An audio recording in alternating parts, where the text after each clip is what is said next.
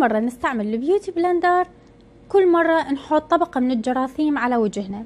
السبب لأنه تحتوي على طبقات من المكياج والجلد الميت ومن البكتيريا. البكتيريا احتمال تجي من إيدينا احتمال تجي من الجو احتمال هي أصلا موجودة بيها بسبب ظروف إحنا حطيناها بدون ما ننتبه. بتعرفين الظروف اللي ممكن تكاثر البكتيريا وتسبب لك مشاكل؟ ابقوا وياي نهاية الفيديو. الرطوبة. إذا كنت تحطين ال beauty blender رطبة بالحمام أو هو الحمام أصلا رطب فأنت تساعديها على وجودها وتكاثرها. وأيضا إذا استعملتيها وهي رطبة فأنت أيضا حتنقلين البكتيريا لبشرتك بسبب نمو هاي الجراثيم أصلا بالجو الرطب. ثانيا الدفو. البكتيريا تعيش بدرجات الحرارة 37 اللي هي نفس درجة حرارة جسمنا. فاحنا من نستخدمها ونرجع نحطها بالمجر مثلا أو نحطها بالعلبة المخصصة لل beauty blender. فإحنا بهاي نوفر لها درجة حرارة الملائمة لتكاثر البكتيريا.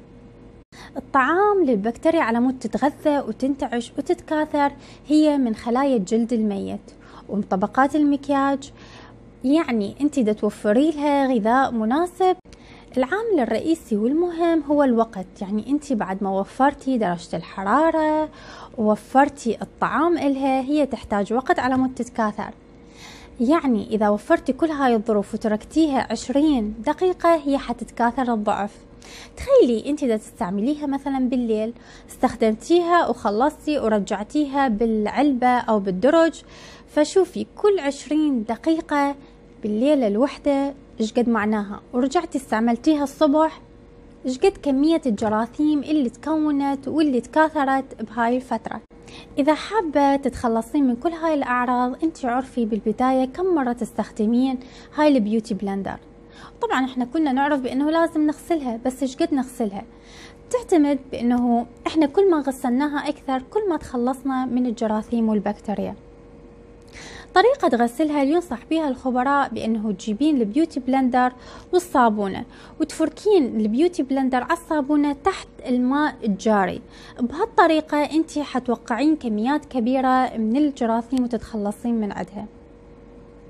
حطي ببالك بأنه لا تشاركين ال beauty blender مع أي أحد. إحنا كل شخص له بالبكتيريا الخاصة به إذا نقلت لشخص آخر ممكن تكون ممرضة. فنحتفظ بأدواتنا نفسنا فقط. كلمة أخرى بأنه لازم نغسل إيدينا قبل استخدامنا لأدوات التجميل وأيضا لل beauty blender. لأنه إحنا كنا عندنا جراثيم وكل ما نلمس شيء إحنا حننقل الجراثيم أي شيء بإيدينا ونرجع نستخدمها وبعدين حننقل الجراثيم لبشرتنا. فيفضل بأنه غسل الإيد قبل استخدام ال beauty blender. نصيحة أخرى مهمة. إذا تستخدمين كريم الأساس أو ال foundation فيفضل من تشتريه تشتريه يكون على شكل ال pump أو يكون العصارة. أي معناها الفتحة تكون صغيرة لاستخراج المنتج.